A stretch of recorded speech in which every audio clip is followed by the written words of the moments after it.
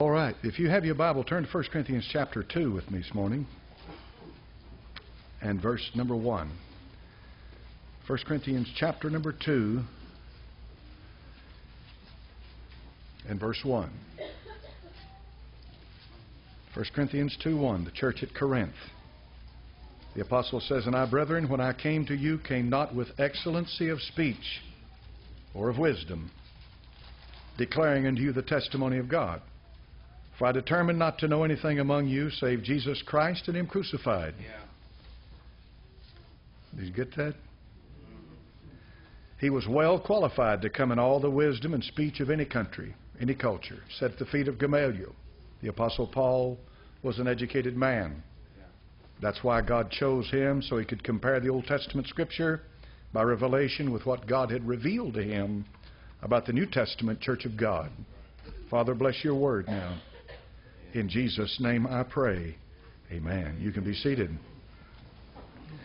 If you notice, the Apostle Paul says in 2 1 Corinthians chapter number 2 that I determined not to know anything among you save Jesus Christ and Him crucified. Yeah. Someone would say, well, now that's not all he talks about. I mean, after all, you've got two books here, 1st and 2nd Corinthians. If Jesus Christ and Him crucified is all that he talked about, then uh, we have a problem here. Well, folks, here's what he means by that. He said, To know nothing among you but Jesus Christ and Him crucified means that nothing in life, makes no difference what we cover, has any meaning at all except it be understood in the light of the Lord Jesus Christ. He is the glass that we look through to examine and judge everything there is. The American government, my life, the world, history, science, whatever it is. We look at it through the lens or through the light of the Lord Jesus Christ. Therefore, the Lord Jesus Christ crucified becomes the most important event on the face of the earth. And how does it relate, therefore, to what's happening? For example, in the book of 1st and 2nd Corinthians, the apostle talks about incest and fornication. Does that relate to the crucified Christ? Absolutely.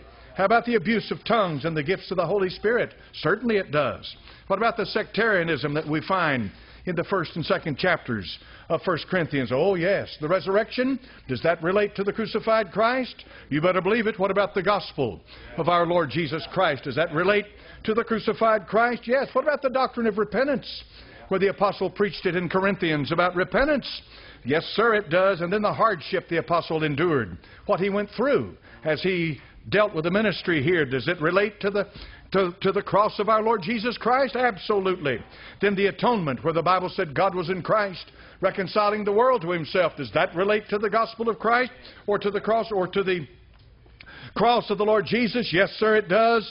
How about the spiritual warfare that we deal with, that we find in the book of Corinthians? Does that have any relevance to the crucified Lord Jesus? You better believe it does.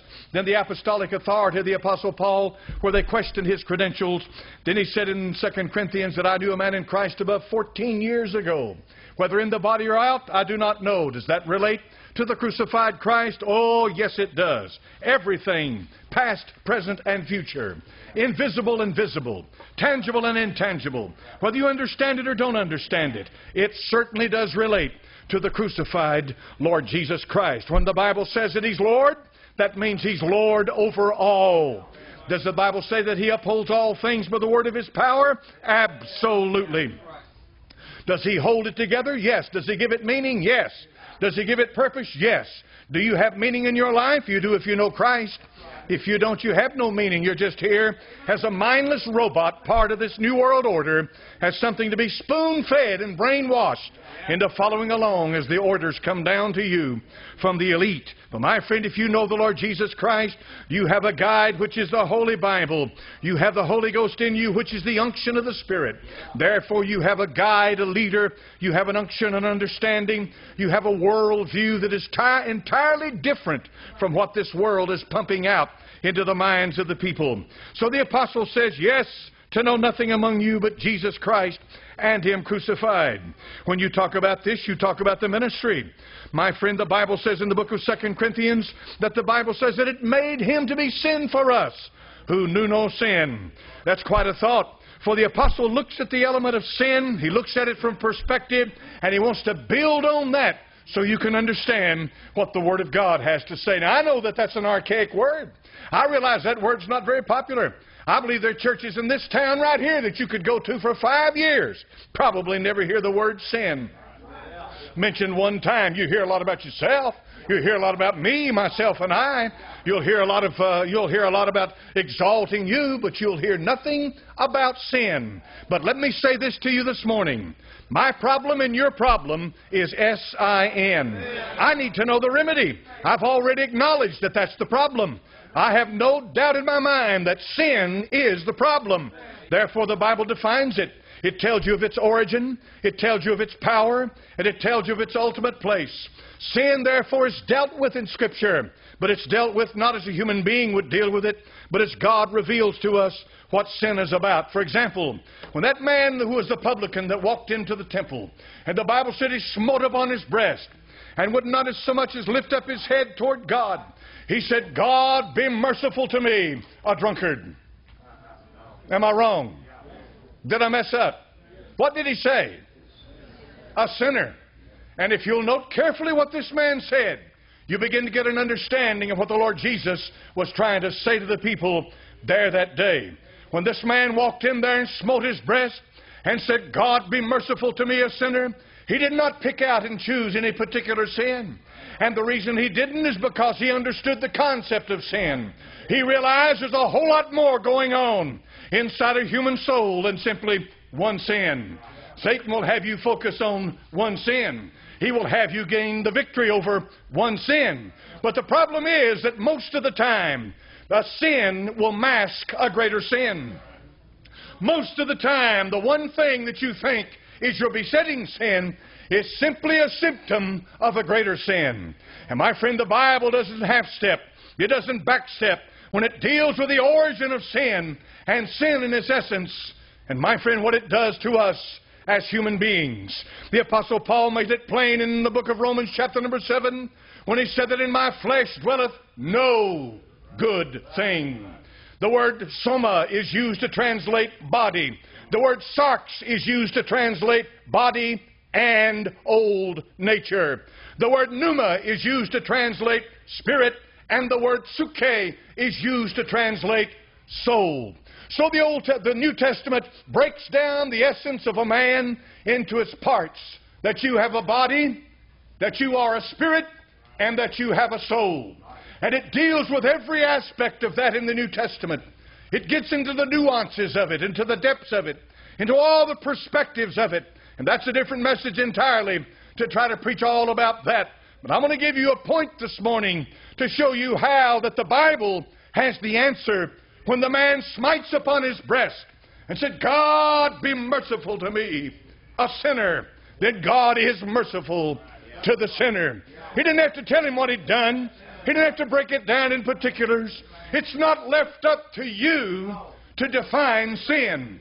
It's not left up to you to pick it out and point pinpoint every possible manifestation and application of it in your life. I don't believe a human being is capable of that.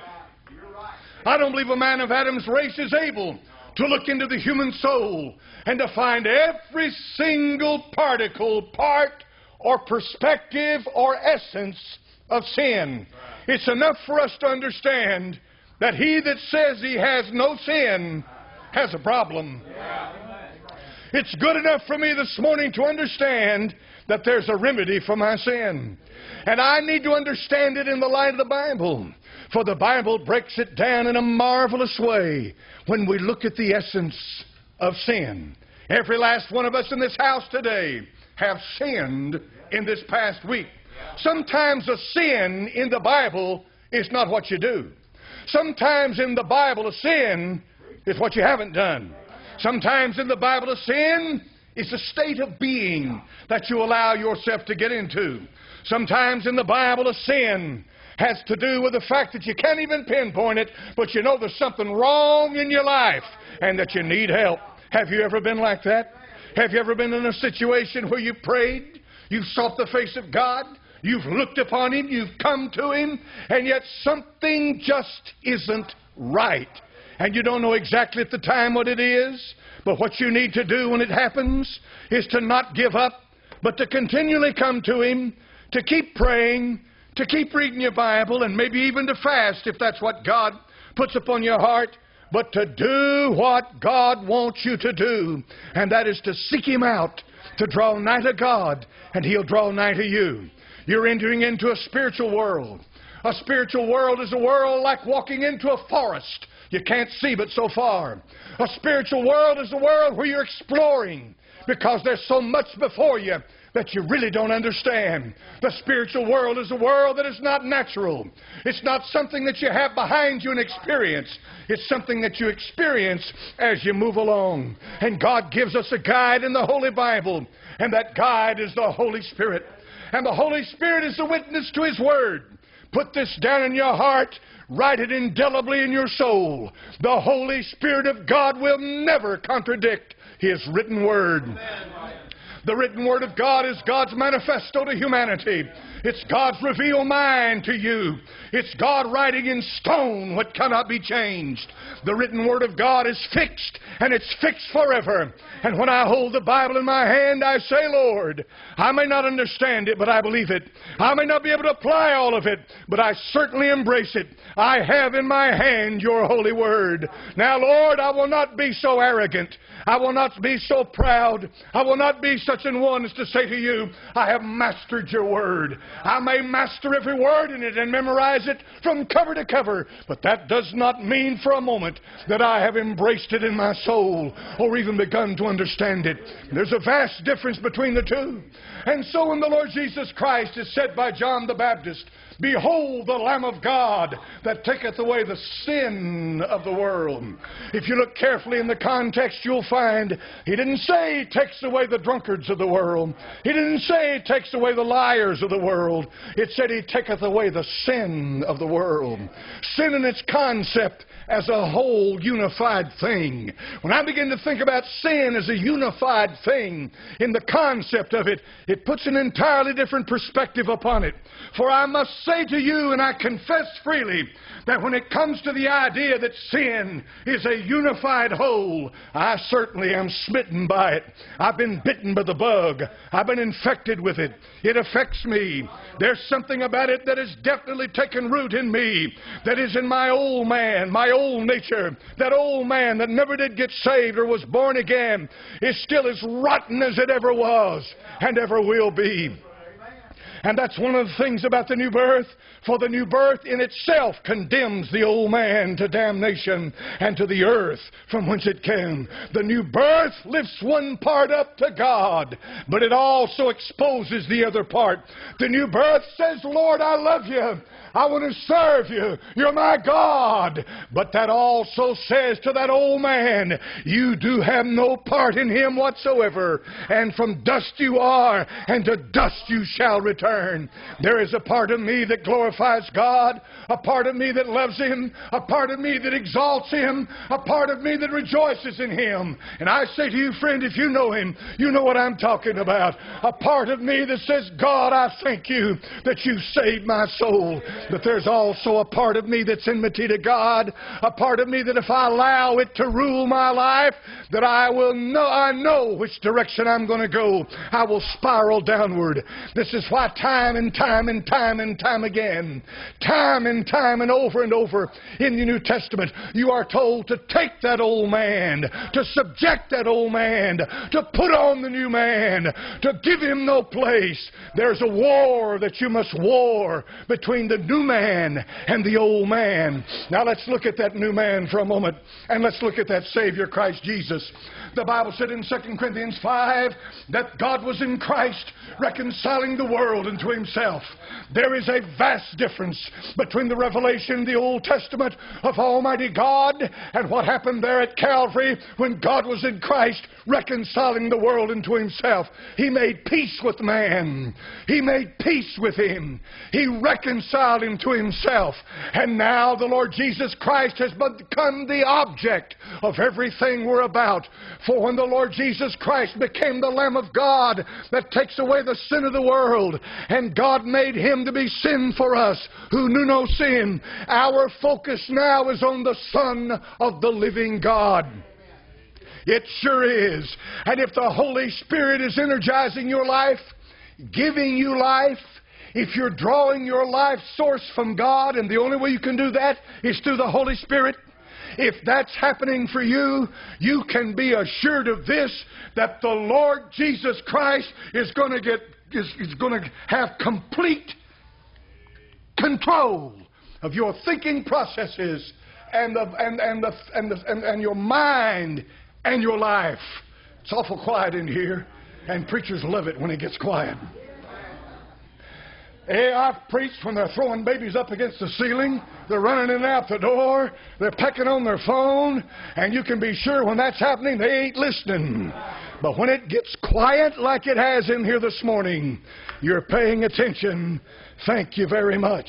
The two most prevalent and insidious sins are self righteousness and pride. They're closely akin. These are the two things that plague all of us.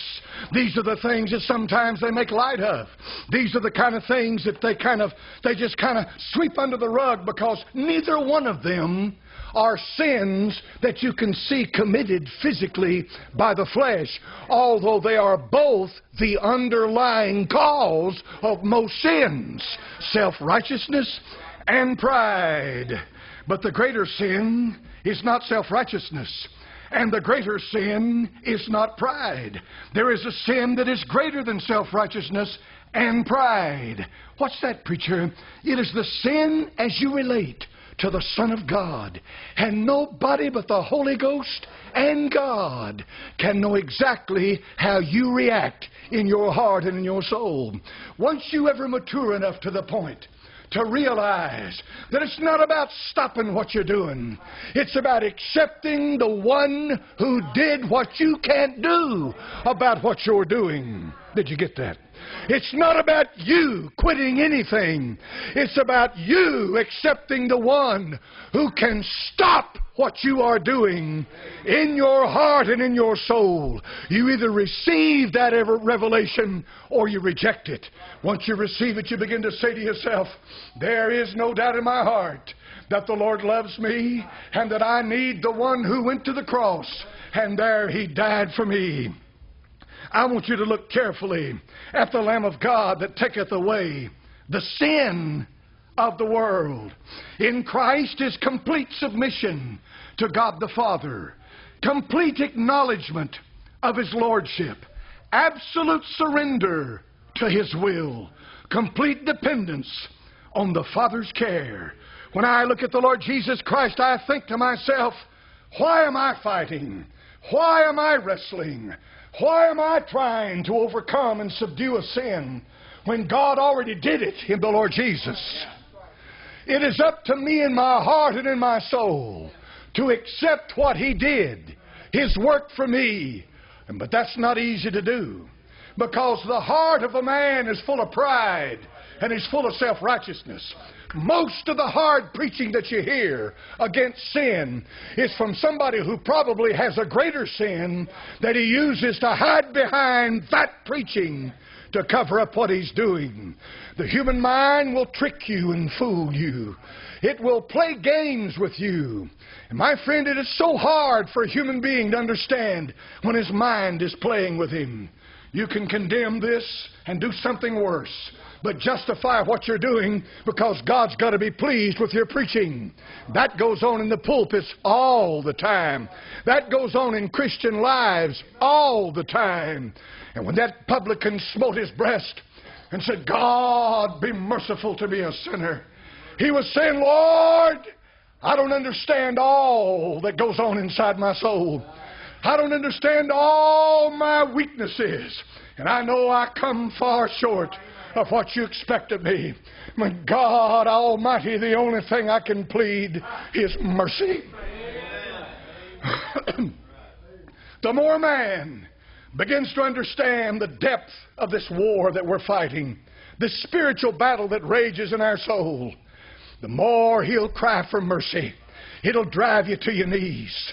You can judge your spiritual life by how much you're driven to your knees. I'm not talking about some ritual prayer that you have every day. I'm talking about a prayer that drives you to your knees.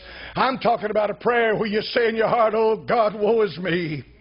I'm a man of unclean lips. God, you say, preacher, if you're praying every day, and you're living for the Lord, you can live above sin. No, you cannot. He that says he has no sin is a what? That's what he said in 1 John 1, and that applies to everybody of Adam's race. But the difference between an unsaved man and a saved man is this. The unsaved man has no indwelling of the Holy Spirit. Even if he acknowledges the weakness of his flesh and says to you, Oh, yes, I'm a sinner. The unsaved man does no concept of the two natures. He has no warfare going on. That's simply a cliche he's using to get you off of him. But the born again believer has a desire to serve God. And I want you to look at what happens when you get saved. In Christ, the sinner's remedy for sin. The Lord Jesus Christ becomes the remedy for sin. Now you say, well, a preacher, I believe in Jesus. I've accepted Jesus. Well, that's easy to say. And around here, everybody's accepted him and believed in him. Most people in East Tennessee, unless you are an agnostic or an atheist, you'll say that Jesus is the Son of God. And you'll say that you've believed in him and that you've been in church and you're a Christian. That doesn't make you one. I prayed the sinner's prayer, preacher. That makes you a Christian. No, it doesn't. You say, What makes you a Christian? Nothing makes you a Christian. He that hath the Son hath life. He that hath not the Son hath not life, but the wrath of God abideth on him. To accept Christ is to accept Him as Savior, then begin to acknowledge Him as a high priest, and then focus your attention on Him as Lord. Notice that to accept Christ is a threefold proposition. First of all, you accept Him as your Savior. That's what got you out of sin. That's what got you out of the condemnation of sin. That's what got you out of damnation. At that moment that you accepted Jesus as your Savior, at that very moment, then your name is written in the Lamb's Book of Life. There is therefore now no more condemnation. There's no condemnation. That transferred you from a child of hell to a child of God. Thanks be unto God. Most Baptists think that finishes it. That just begun it. The moment you got saved was the start, not finish. That's the beginning, not the end. You say, Preacher, I thought only saved once, saved, uh, uh, saved one time. That's it. Once saved, always saved. True. If you're born again, you're only born again one time. But you see, from the moment that you're born again, you need somebody to guide your life. You need power over sin. And you have no power over sin. The scripture that's quoted constantly greater is he that is in you than he that is in the world. Amen who's in you. if the Holy Ghost is in you, then He has a work to do. And here's the second aspect of your, of your battle with sin. A Savior delivers you from the condemnation of sin. A high priest delivers you from the power of sin. Think of it. When the Lord Jesus Christ ascended to the right hand of the Father, He sent the Holy Spirit. He said, He can't come till I go. And when He, the Spirit of truth, is come, He'll guide you into all truth. Our battle is fought not with flesh and blood. The weapons of our warfare are not carnal, but they're mighty to God to the pulling down of strongholds. What does that, preacher? Spiritual power. Where does spiritual power come from? The high priest intercession and his ministry at the right hand of the Father. Once you begin to grow in the Lord, dear Christian friend, the more you'll depend upon your high priest, who is the advocate with the Father, who's pleading into the ear of the Father, and who's ministering by grace into your life what you need to deal with sin. You see, the Savior saved your soul and you were born again. The high priest saves your life so that a witness and testimony can come forth from you. That high priest ministry ministers grace to the hearer by the power of the Holy Spirit of God. That's what First John chapter number 1 is dealing with. That's not getting you saved. First John chapter number 1 is not about you being born again. First John chapter number one is about your growth in the Lord, your walk in fellowship with God, your communion with God the Father and God the Son. And that communion is based entirely upon truth and light. And the only way that truth and light becomes a reality to the believer is by the power of Melchizedek, that holy one that is the high priest at the right hand of God the Father that ministers these things to us. And the only way that becomes a reality to a believer is when you start coming into agreement with God. Instead of hiding behind your church teachings and your self righteousness and your pride and throwing into the face of somebody, well, I don't do what they do, and I've never done that, and I don't done, I never do this, and I this, I that. Listen, sin is not fornication, adultery, lying, lasciviousness, and all the rest of it. Sin, as it's brought together in the Bible, is set in, in complete opposition to God. It's that element that is opposed to God. When Satan said, I will, I will, I will, I will, he was setting himself over against God. That's the essence of it. Look at the essence of that and what can spawn from it. Everything can come from that opposition to God. That's the work of the Holy Spirit. Once you're born again, that high priest at the right hand of the Father gently, clearly works in the heart of a believer, pointing out those things that rise up in your soul. Yea, they may be good. They may be even having a sense of, of, of an element of righteousness. But unless it is Jesus Christ, it's self righteousness. And that becomes a dagger in your soul. A man can try to do the best he can on his way to hell. What do you do then, preacher? If you're walking in fellowship with the Lord, you're crying out daily, Jesus, I need more of you. If you're walking in fellowship with the Son of God and God the Father and God the Son, you're crying out, Lord Jesus, I'm hungry for you. Help me. Was all that in my heart? Was all that in my soul, Lord? It was there, son, but I chose this point in time to let you know about it. There's more in there, but that's okay. We're going to have fellowship together. On down the road, I'll reveal it to you. And then when it comes up and I bring it up as an issue, then confess it. Acknowledge my lordship which is the third step in your salvation. What's that? That is the lordship of Christ has to do with him delivering you from deceit. Deceit is the work of Satan. His power is sin.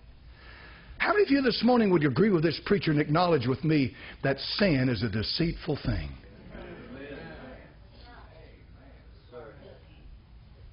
I've gotten to the point now I, I, I feel pretty bad for drug addicts.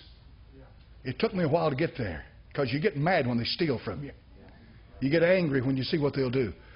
But, folks, there are drug addicts out there on that street right now. They got to get a fix. And I've heard them say time and time again, I'll do anything I have to do, whatever I got to do, rob, steal, kill, whatever, I got to get a fix. They are slaves, folks. They're pitiful.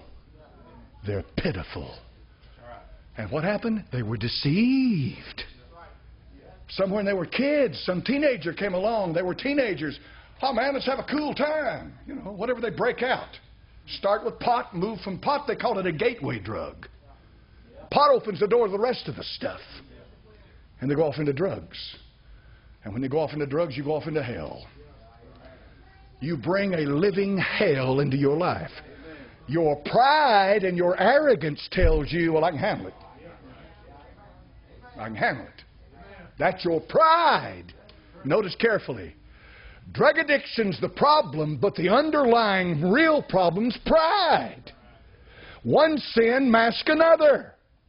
But the real issue is not your pride. The real issue is the fact that you will not allow yourself to take the one who connected us to God who took your place and removed the power of sin. He's the only answer for your sin and my sin, and that's Jesus. Son of God, not preacher lost. I can't deliver you. Couldn't deliver myself. I can't do anything. I'm as helpless as I can be. But He can. He can. He can. Well, I'll close with this. The Savior's yours at the new birth. The high priest is yours as you grow in grace and knowledge. The Lord becomes your focus in life, your goal, your future, the one who progressively separates you from the world unto Him.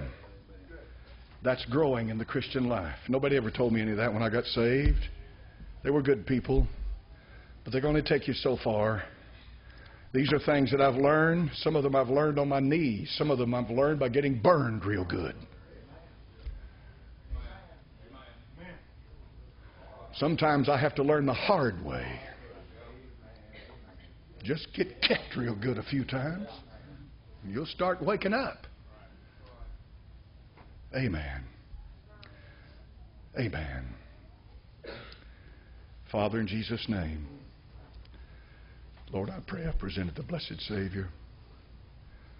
Lord, I pray that I've, I've presented the Lamb of God.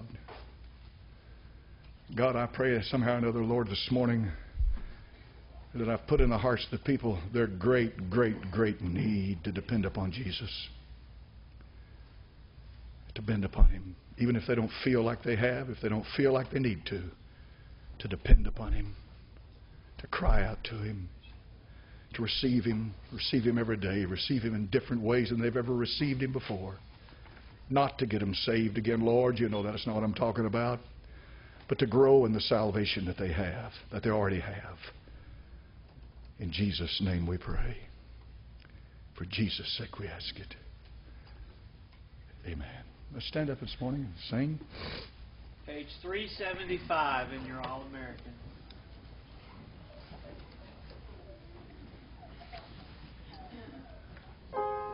Would you come?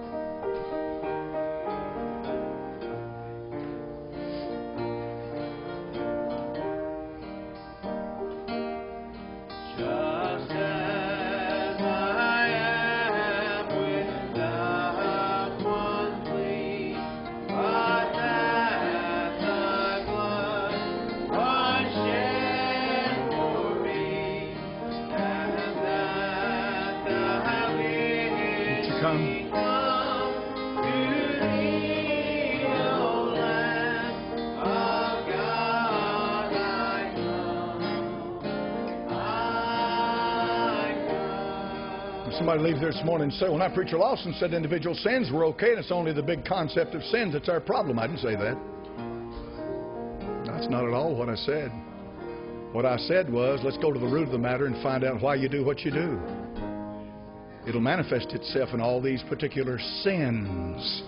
But the original problem or the main problem is the root cause. You go to the doctor, you don't even put a band aid on a cancer wound. You want him to go find out what's wrong. You want him to treat it. You want him to get to the root of it, find out the problem. You don't, you don't, you don't, you don't go to a doctor and him say, "Well, go home, take a couple of baby aspirin. I'll see you in a couple of weeks." When you're coughing up blood, you'd find you another doctor, wouldn't you? That's exactly what's going on here. Your problem is not drunkenness. Your problem is not lying. Your problem is that your relationship with the Lamb of God is not right. And your relationship with the Lamb of God is never built on the way you think, although the way you think is very important. It's built upon the fact and truth of God's Word, illuminated by the Holy Spirit. If God said it's a reality, it's a reality, folks, whether you can wrap your mind around it or not. And the reality is, if you walk in the light as He is in the light, you have fellowship one with another, and the blood of Jesus Christ, God's Son, cleanses from all sin. Walk in the light means to walk in agreement with God. Then you walk in the light, and you have fellowship. And the fellowship causes you to grow. And as you grow, God gives you the ability to see sins like you've never seen them before. Amen. And then learn this, and I'll shut up.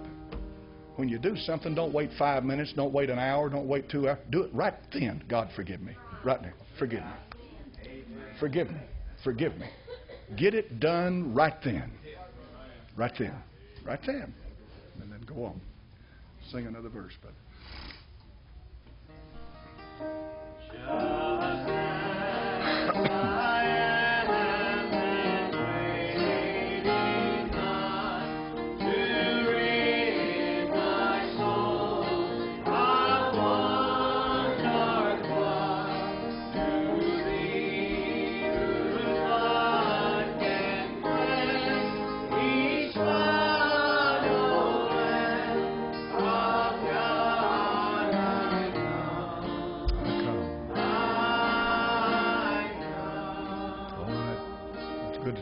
good to be here and appreciate you listening. We'll meet again this evening at 6 o'clock for the evening service. I'd like to invite you to come back, and Wednesday night we meet at 7 o'clock for prayer meeting. I have every intention of being here Wednesday night, but I'll be in Nashville Wednesday morning. So I'll, whenever they let me out of the hospital, I don't know if the doctor doesn't show up till 6 or 7 o'clock that evening. And it takes about three hours to get here, so I doubt if I'll be here in time. But if he comes by early that morning and gets me out of there, well, I'll be here Wednesday night. So I plan to be here. That's one thing that's out of my control. I don't I don't walk